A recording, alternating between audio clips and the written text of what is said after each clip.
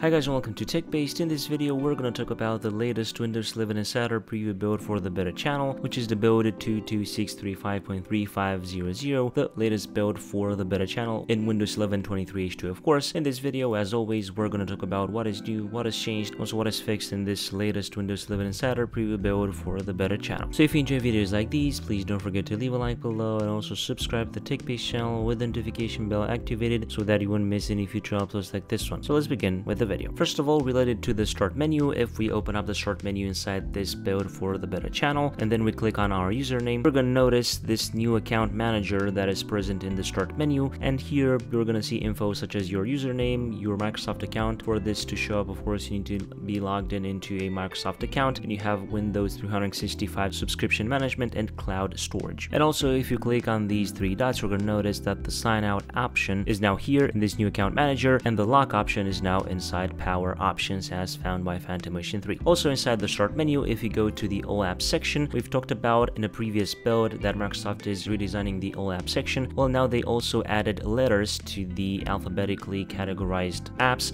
I think this is pretty good. You can easily find apps based on their starting letter and because they are very well organized alphabetically, you can just click on a letter and then select the letter you want and you'll be jumped right there. I think this is pretty good. Also related to Windows Share, if your Microsoft account uses a Gmail address, you can now send email to yourself from the Windows Share window and receive it into your Gmail account. Also to ensure that we don't lose access to our Microsoft account, Microsoft is introducing a new banner with a add now button on their settings and accounts for adding a recovery email address if you haven't added one for your Microsoft account. Then Microsoft is also introducing a new Game Pass recommendation card on the settings homepage. I'm not sure how this will be received by users, but this settings homepage will be seen only on the Home and Pro editions of Windows 11, and of course you have to be signed into a Microsoft account. Related to the widgets board, Microsoft is introducing a new navigation bar on the left, allowing you to switch between a dedicated widgets dashboard and other integrated dashboards like Discover, and they are also introducing the ability for developers to send notifications to the taskbar button with their custom dashboards or the widgets board. You can check a documentation for that in the article below in the video's description. But Microsoft is also doing some improvements related to the icons that appear on the taskbar in the widgets section, and they've also added clearer and larger icons in the taskbar taskbar. And finally, a hidden feature found by PhantomOfEarth, basically whenever you have enabled automatically hide the taskbar and then try to access the search box, normally it will only show up the simpler version of the search box, but right now Microsoft will soon add this new feature that will basically allow you to see the whole search box depending on the settings you have set on your taskbar settings. And related to this build, this is pretty much all there is to it. If you want to check out more information and also the known issues in this build, you can check out the article below in the video's description and also the official Microsoft blog post. If you enjoyed this video, please don't forget to leave a like below and also subscribe to TechBased channel with the notification bell activated so that you won't miss any future uploads like this one. Zoom out from TechBased. Until next time, have a nice day.